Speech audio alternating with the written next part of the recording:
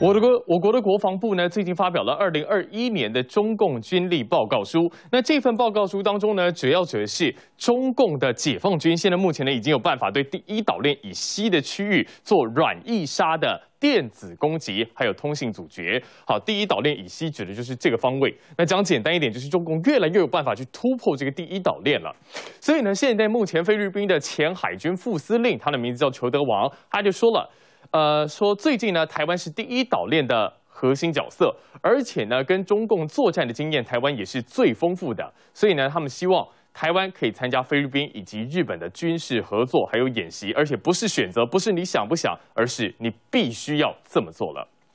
而另一方面呢，日本的防卫大臣岸信夫最近也提出了相同看法。那岸信夫说呢，基本上中国在今年的国防预算呢是日本的四倍之多，所以对于日本来说呢，这已经不是隐忧了，是一个强大的危险就摆在那儿。所以呢，目前台湾的局局势对日本来说至关重要，而且呢，日他还说呢，我们其实已经没有时间犹豫。那眼看目前亚太局势呢，很可能会一面倒向中国。现在目前呢，英国的皇家海军新的巡逻舰叫做史佩舰，在当地的时间七号呢，也从英格兰的东部出发。那从英格兰东部出发之后呢，接下来他们会从英格兰东南部的普茨茅斯港，那展开在亚太地区常驻五年的一个部署。不过英国方面说了。现在呢，只是部署是要瞄准贸易还有外交，其次才是安全。我们并没有要破坏区域的平衡。那除此之外呢，美国方面似乎也有些动作，因为现在呢，根据美国媒体报道，有一个美军的 RQ 一八零隐形高空无人侦察机，似乎呢就在亚太地区被发现。不过同一时间呢，也有一个消息说，那架不是美国的飞机，而是中国的轰二十隐形轰炸机。好，不管是什么呢，现在根据南华早报，中国方面呢。都已经在研制最高速度到二十五马赫的高超音速天地往返飞行器。那基本上呢，有这样子一个飞行器，主要呢就是要来对付美国的 F 三十五。所以换句话说呢，中国现在已经很努力的在突破第一岛链的同时，也要备妥跟美军抗衡的军事实力。那另外呢，中国现在在中亚方面也开始很积极的布局，所以我们还是要来看阿富汗。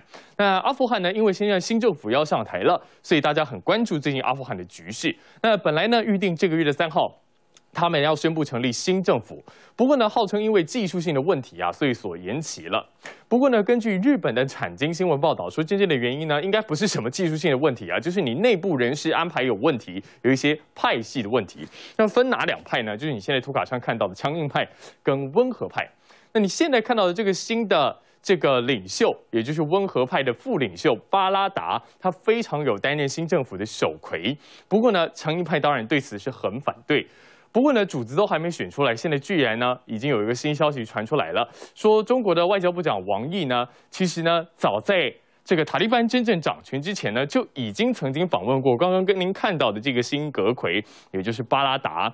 那现在呢，塔利班还没拿下政权，竟然都已经会面过了，所以呢，中国方面似乎是有亲塔利班的一个倾向，但是中国方面呢，现在对此是说无可奉告。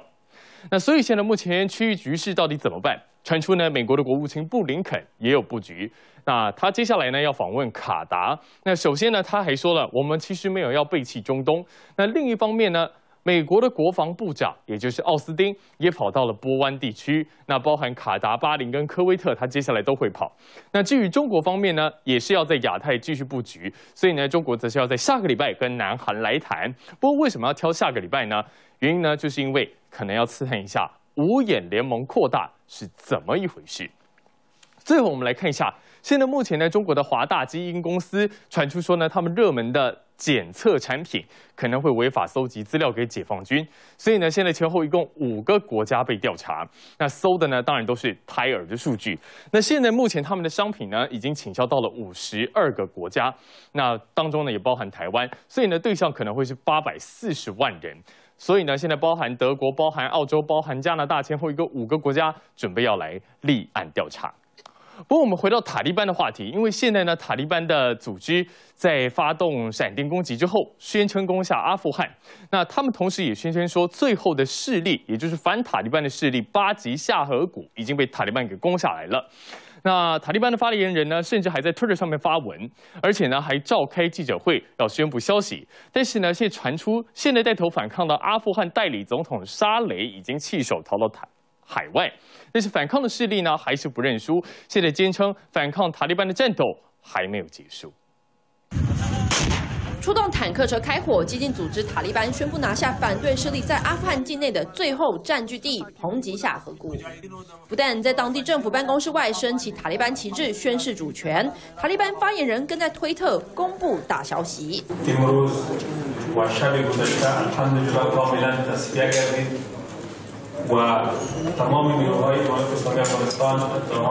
阿富汗最后据点宣告沦陷，称要战到最后一刻的代理总统沙雷也传出人已经逃离彭吉夏，前往中亚国家塔吉克。消息更指出，反抗军民族抵抗阵线重要领袖小马苏德已流亡海外。Resistance forces have been facing great difficulties.